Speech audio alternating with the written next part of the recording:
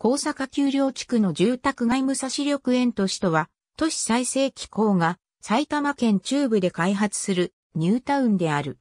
都市再生機構が東京都心から30から 40km 圏内に当たる東部東上本線や関越自動車道を軸として開発した一連の開発地区の総称である。特徴としては既存市街地が点在する地域であるため、それを避けるように市街地と市街地の中間の土地を中心に開発を行っていることから、事業地域は川越市、鶴ヶ島市、坂戸市、東松山市の4市にまたがっている。総計画面積818.4ヘクタール、総計画人口10万1000人となっている。また、約50年の長期にわたり、造成が続いていることもあり、初期の地区では1970年代の公団住宅から始まり、その後の生活スタイルの変化から一戸建てや分譲マンションを中心とした街並みへの変化を遂げ、後期の地区では2019年現在もなお開発中の区域がある。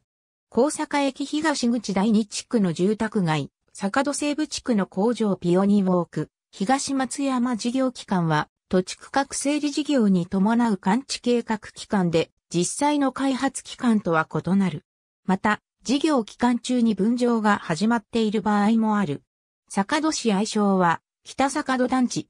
事業面積120.4ヘクタール。事業期間1970年から1974年。賃貸集合住宅地区、土地分譲地区。開発テーマは、芽生えの町で、新設された北坂戸駅を中心とした駅前開発地区。坂戸市、鶴ヶ島市愛称は若葉台団地。事業面積214.9ヘクタール。事業期間1973年から1979年、賃貸集合住宅、工業分譲地区。太平洋戦争末期に造成された、坂戸飛行場跡地に造成された。開発テーマは、若葉に酔う町で 1.5km の緑豊かな緑地帯を持つ。若葉駅と若葉台団地の間は長らく、筑波大学の所有地で更地となっていたが、売却されて2004年に若葉ウォークがオープンした。川越市、鶴ヶ島市愛称は、川鶴グリーンタウン。川鶴団地と表記されている場合もある。事業面積137.9ヘクタール。事業期間1976年から1986年、戸建て土地分譲、集合住宅地区。開発テーマは、欅並木の街で、緑とコミュニティを大事にした、新しいイメージの開発地区。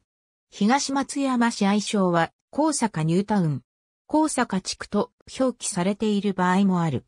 事業面積97.2ヘクタール。事業期間1976年から1987年。戸建て土地分譲。集合住宅民間分譲地区。都市景観百選選定。武蔵緑園都市の中では唯一、UR 開発の大規模なニュータウンで見られる。遊歩道と車道の立体交差による歩車分離が導入され、また、日本では珍しいクルドサック式のコミュニティ道路が導入されている。駅から比較的近い地区ながら、公団の開発地区の中でもトップクラスの公園緑地率25%を持つ。川越市愛称は、川越ニューシティ、伊勢原。事業面積69.8ヘクタール、事業期間1983年から1991年、戸建て土地分譲、集合住宅地区。平成5年度都市景観地区賞選定。開発テーマは、桜咲く町。商業の郊外化の流れから地区内の車道沿いに、スーパーマーケットやチェーン店を多く配置している。坂戸市愛称は、坂戸ニューシティ日祭。日祭団地と表記されている場合もある。事業面積119.3ヘクタール、事業期間1989年から2002年、戸建て土地分譲、工業分譲地区。開発テーマは、緑とせせらぎの街で、河川に囲まれた緑豊かな大地に山並みを移す、せせらぎの街として開発された。東松山市愛称は、うらら花高坂。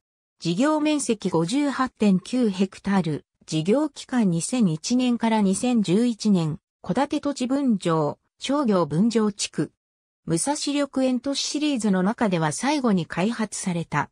大型ショッピングモール、ピオニューウォーク、東松山や大型店舗が地区面積の半分以上を占めるなど、商業地区を中心とした街づくりとなっている。ありがとうございます。